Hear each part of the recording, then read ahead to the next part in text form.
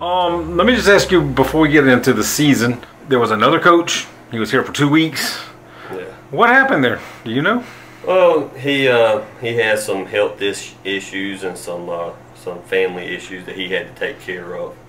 Um, that didn't allow him to come here, and so you know, of course, that was a shock to a lot of people, especially the kids and the staff. But um, I think administration jumped on it pretty quick, and uh, we were able to.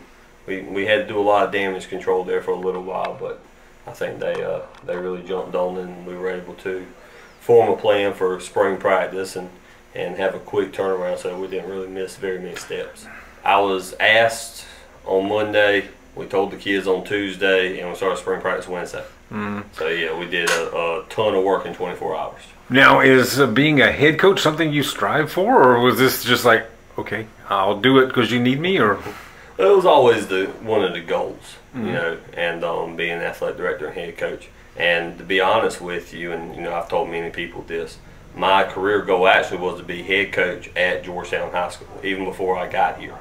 Um, a few years ago, I was listening to Dr. Pringle on uh, one of the radio morning radio shows, and she was talking about you know all different things with Georgetown County, and I, I told my wife that day that I want to be at Georgetown. For some reason, it's Georgetown High School. And where were you at at that time? I was at Pamplico High School. at You're at Pamplico, and your goal was to be here. my goal was to be here. Now I thought it would be about ten more years down the road, and all of a sudden now I'm here. So um, I got to it a little bit faster than I thought I would be able to, just because of how everything worked out. But everything happens for a reason. I don't, you know, I'm glad I'm in this spot. This is my career goal, but I'm here for these kids. I'm not here for to set myself up for something else. My plan is to retire here.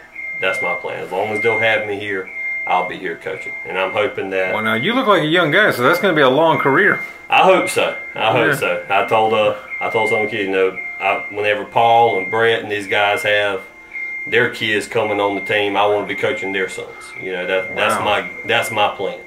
Okay, so let's talk about the season now. I mean, uh, you've been now. How many returning players do we have this year? Surprisingly, we have some good returners. We got Brett that's returning, Paul that's returning, Ishmael, uh, Taylor. Um, where we're where we're lacking some of our returners is on uh, offensive line. Um, we got Harrison who played some last year. He's going to be our right tackle so far. We got uh, Stefan Manigault. He's our uh, right guard. Um, Jakai played JV last year. Um, ben played JV last year, and then we got Ryan Drayton, of course. Um, still got Isaiah who's back. You got Naeem who's back, and we in our key positions we got returners.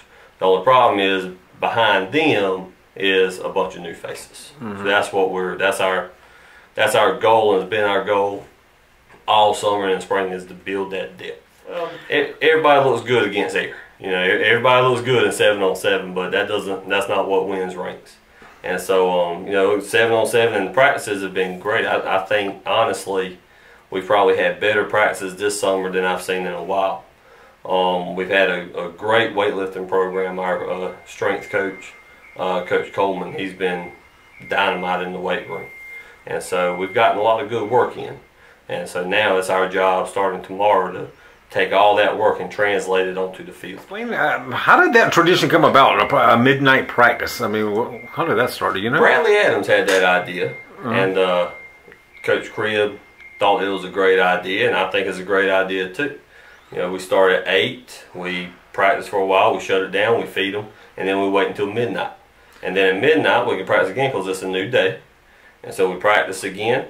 And then you don't, the kids don't have to come back over the weekend. You get to spend time with your family over the weekend, and you knock out two practices. What What is the practice season like between now and football, the first football game? Well, we're actually going to switch it up a little bit. We're going to practice in the mornings to start out with. That way, we're not fighting, uh, you know, afternoon storms and heat. We're going to go ahead and knock it out, and it's the same times that we worked out over the summer, so the kids don't have to change their job schedules. And um, so we'll practice once a day, and we'll practice about two, two and a half hours. And uh, my my thing is, I want to get these kids home. They have lives. Our coaches have families. I want to get, you know, we're going to work while we're here. We're going to we're going to work our tails off while we're here, but once it's over, I want them at home spending time with their families. The only game I see right now is Philip Simmons.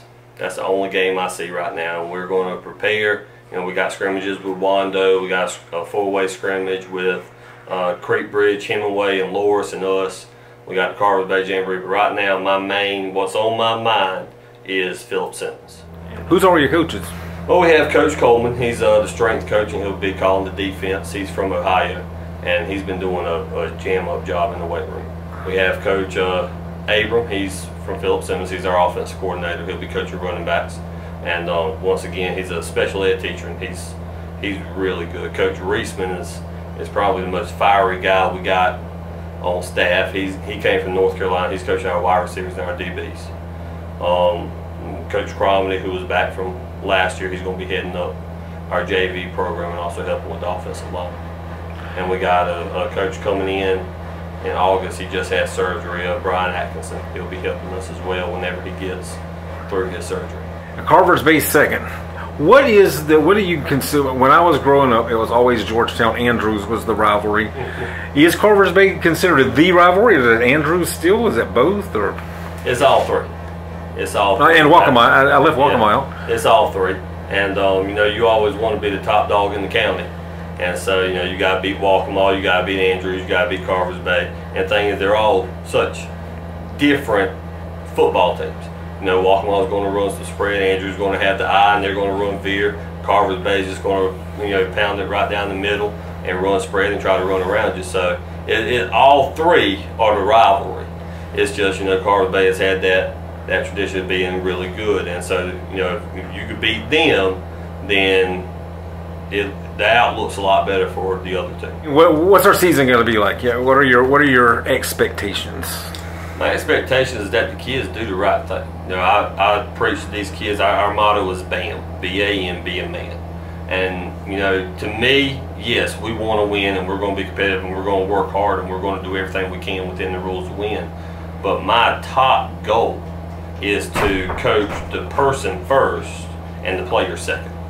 So I want these guys to learn discipline. I want them to learn um, showing up on time, being team players, um, good sportsmanship. That's that's my top goals, and then the winning comes comes next. But if I can get these kids, there's a quote by Dabo Swinney that I, I I love it. It completely envelops what I want to do, and it says you can win, win, win. But if you're not training these men to be great husbands and fathers, you lose. And that's what I'm passionate about. That's what that's my goal.